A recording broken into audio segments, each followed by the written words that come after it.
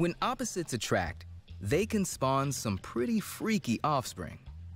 Weighing in at nearly a ton, the liger is the true definition of weird. The hybrid offspring of a male lion and a female tiger, ligers are only created when the two rival cat species meet in captivity. The resulting genetic cocktail cooks up a giant, a super cat that is so big it may be too heavy to hunt. In the lion world, size equals dominance. So male lions pass on genes that encourage growth. But the females know that big doesn't always equal better. And their genes keep male cubs from getting too large.